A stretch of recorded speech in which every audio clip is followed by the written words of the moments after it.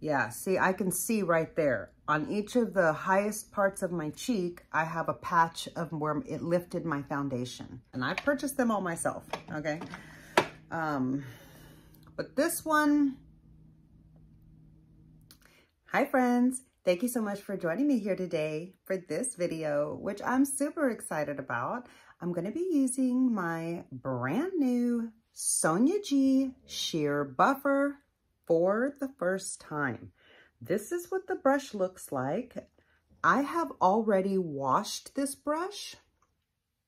Okay, that might not be helpful because it like matches my skin tone, but I'm trying to get you to be able to see the layer of the bristles. Can you see that up close? You can kind of see through. It's got a sheer top layer made of synthetic bristles and then here, the base layer is natural hair goat, uh, like goat hair. So um, this is supposed to be a cream cheek blush. Wait, what? this is supposed to be a cream cheek brush. And honestly, you can thank me for this. And honestly, let me thank Sonia G for this brush because honestly, I feel like my video I feel like my video testing out the Jumbo Bronzer when it first came out and the Niji Pro on the Charlotte Tilbury Cream Bronzer um, was the catalyst for this brush because neither of these brushes are meant to be used with cream products. These are best used with powder products. I was using my Niji Pro with my Charlotte Tilbury Cream Cheek, but I don't think that's really ideal for the longevity of the bristles and these these are really more for powder products. And I feel like because my video started picking up traction and too many people were possibly getting the idea to use these incorrectly, um, I think this was created in response to that. Because Sonia G literally advertised this brush with the Charlotte Tilbury Cream Cheek. And I feel like that was a direct response to my video. So thank you so much, Sonia G, for providing me a brush for my cream cheek bronzer. I love this cream cheek bronzer. Yeah, I love this product so much. And I'm not usually a cream product kind of girl. So I didn't have an ideal brush for it. I was using the Jumbo base, which has since been discontinued. Um, but the problem with this is that because it's such a solid, dense surface area, it really would just pick up so much. And I'd have to be very, very careful and strategic about where I placed it. Then I would need to get another brush to blend and buff that out. And again, buffing out, let me show you. Typically, I would then buff it out with this. And again, these bristles weren't meant for this heavy whipped texture of this cream product. Granted, this isn't even as heavy as a lot of cream products get.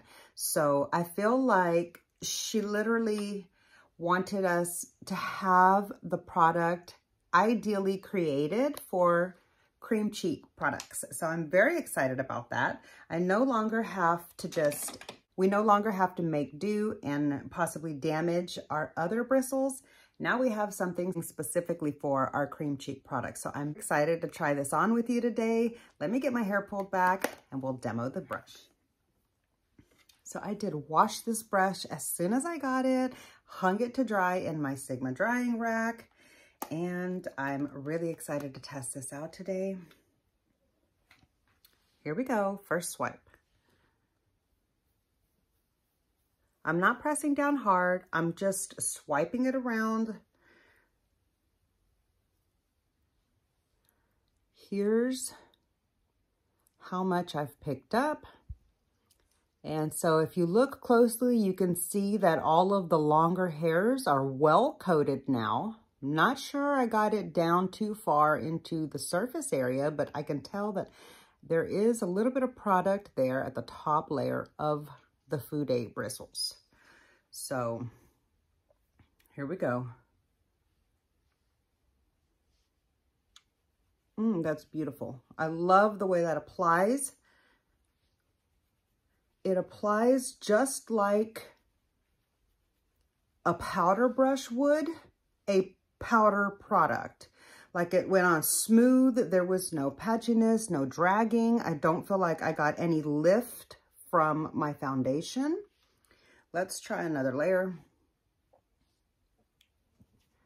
Now let's just try stippling it. Okay, so if you want a more intense application, you can push down so that you're getting that other layer of the bristles, and then you can just buff it in like that. Let's just buff it into the top a little bit.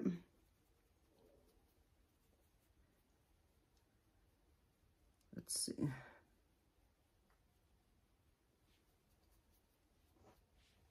Okay.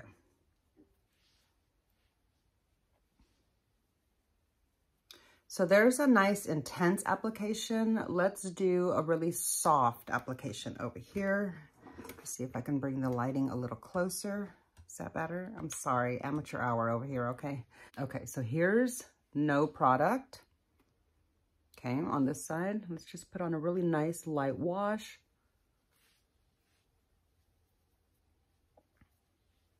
Yeah, see, that's a nice little light wash. See, you can get a really intense application or a nice, soft, more natural application. This side, I had really loaded up my brush, and this other side, I barely did. So, that's cool. Just gonna take my foundation brush and tamp this side down a little bit.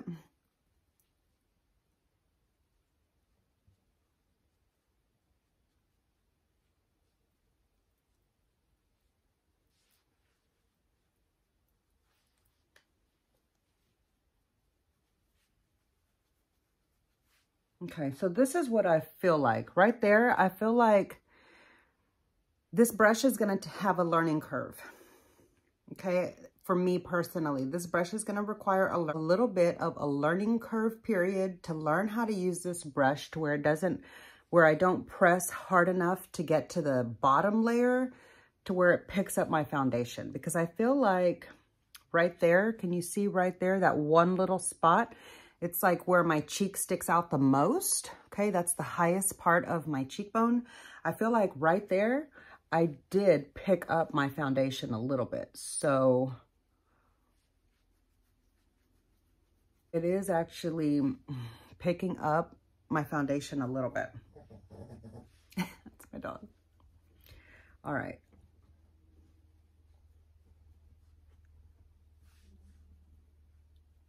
Yeah, see, I feel like it does look a little patchy. Let's see if I can blend it in. It does blend over nicely, but by the point that it's blending, I've already created the patch in my foundation right there. I think that's owner-operator malfunction. Hi, that means me. I think it's my mistake. I just need to learn, like, I just, my hand just needs to get used to using this specific brush with a more lighter application. Because when I first just do the, the synthetic ones that stick out more, it does feel a little pokey. Like that feels pokey. If I just go really, ooh, if I just go really softly on the cheek, it does poke my skin. So I think because of that, and keep in mind, all this was happening like in one fell swoop instantly. So I'm trying to analyze in hindsight now and share with you my thoughts and experience to see if you can relate or you understand what I'm saying or if maybe it'll be helpful to you about how to use the brush or whether or not to pick it up. Anyways, the synthetic bristles are pokey on my cheek, okay? But I think that's why I was pressing harder to where once you start to press harder and you get a blend of the two bristles like that and they're both going on the skin, at that point it does feel softer and it helps to kind of take away that pokey effect of the synthetic outer edge. But by that point, I've already patched my foundation up in the application layer. And then once I keep buffing it, it smooths out, but I already have a patch here on the part of my cheek that sticks out the furthest. So Yeah, see, I can see right there. On each of the highest parts of my cheek, I have a patch of where it lifted my foundation. But it does look smooth. like it lifted the foundation and then buffed it out over. So I don't know if that's going to be a design flaw. Like maybe there isn't enough, hold on. Like maybe there isn't enough distance in this brush between the outer edge and the lower bristles. Like maybe not quite as much as this. I feel like this one is too much, okay? Um, although these synthetic bristles, this is a Real Techniques brush. Um, this is actually the, it's like from the diamond set or whatever, and it's number 027, okay? So this is the 027 from the like glam set or whatever. These synthetic stippling brushes here on the outer edge, let me feel, let me see which ones are softer.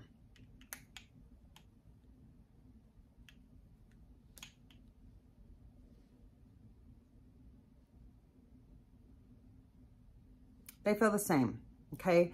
So if you're good in general with stippling brushes overall, I think you might like this brush. However, because I personally feel like because the stippling part isn't long enough or isn't longer than the way that it was developed, I feel like it is patching up my makeup right there. So if I was able to make a request to Sonia G, I would ask her to just get the synthetic bristles to be a little bit longer so that there is a little bit more of a distinct different a difference in when the application goes on before you start buffing it because it really did it does seem to patch off on my big fat cheeks.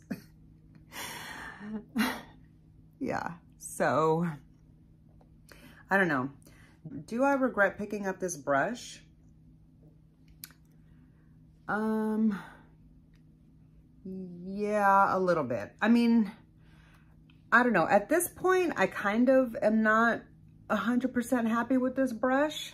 I'm not going to return it. I'm going to keep the brush. Um, but I do feel like the stippling bristles are too short and it, that's why it's patching up my foundation.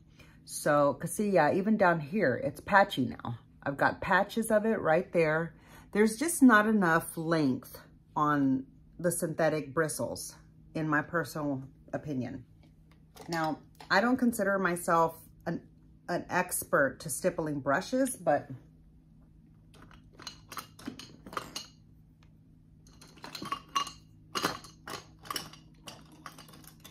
okay. I don't consider myself an expert on stippling brushes, but I do have a few that I really love. This one here is one of my favorites for foundation. It's very dirty. I need to wash it. but if you'll notice, even on this one, like the outer layer of the bristles are much longer than the difference between the Sonia G one. Okay, and that provides a more airbrushed approach without without dragging the product underneath. So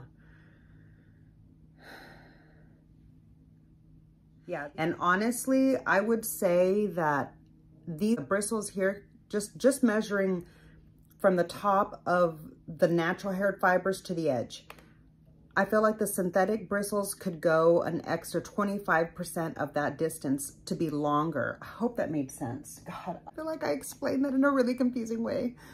But if we're just measuring from this edge up, okay, not like the whole length of the bristle, so not like 25% of this much, okay, just 25% of this little section right here, okay? If we could get 25% more length added to the edge of the synthetic bristles, I feel like this would be a better performing brush. Now, when Sonia G tested it out, she might have not had this issue because, again, she's a professional makeup artist. and she's a genius with brushes as far as using them and she's got, you know, a lot more experience than I do. And so maybe over time I will learn to not patch my foundation when I use this. So I'm gonna try let me, let me get something to buff my cheek out because I'm driving myself crazy here. Okay. I'm going to try to continue. Hold on. Okay. Yeah, see, you can see the patchiness of my foundation everywhere, okay? I'm gonna try to continue using this brush and see if I can figure out the application to where it won't patch up my foundation. So stay tuned for an update in about a few days. I'm gonna keep using this and testing it out on the daily. I'll update in about a week or so. Hopefully this brush will still be available so that if you want it, you can still get it. If you're waiting on any more videos to come out or whatever and you're trying to decide, then hopefully you'll be able to still get it at that time once my video goes up too. But um, otherwise, I would say as the brush stands now and with my current experience with the brush, I don't really think you need this one unless you're an expert on stippling brushes. Maybe, maybe your, maybe your expertise would help your results perform better than mine did. But as you can clearly see right here, and again, I'm sorry for the snoring in the background. My 11-year-old Shih Tzu is tired. um, again, you can clearly see the patchiness of my foundation where it has lifted in several spaces here, okay? So it might be user error. It might be a slight design flaw. I think it might even be, it's probably a little bit of both okay? Because this might be um, perfect for like somebody who's got expertise level with makeup application in buffing brushes, I mean, in, in stippling brushes, but since these brushes are being made for the average consumer to be able to up their own personal makeup game, I feel like these bristles could stand to be just a little bit longer, the, the uh, stippling part could be just a slight bit longer and that it would probably perform better because I'm not happy with the way that my makeup patched. So, so yeah, I'm sorry if this comes off as a little bit negative. I certainly, certainly never imagined myself to be in a position where I'd be saying something negative about a Sonia G brush. I love my Sonia G brushes. As you can see, I love my Sonia G brushes, okay? Most of this container is Sonia G brushes, and I purchased them all myself, okay? Um, but this one, this one isn't ranking as high up on my favorites list so far gonna keep testing it out, gonna keep trying to work with it, see if I can get over this patchiness. I'll update you in about a week or so. Stay tuned for that video. If you enjoyed the video, I hope you found it helpful or informative in some kind of way. If you do have any tips to help me in my personal application to where maybe I can avoid this patchiness, please be sure to leave a comment down below. I would love that feedback. I would appreciate it so much. And um, yeah, that's gonna do it for this video.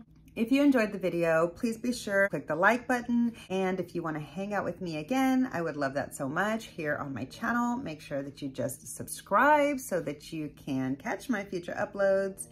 And I look forward to seeing you in my next video. Bye.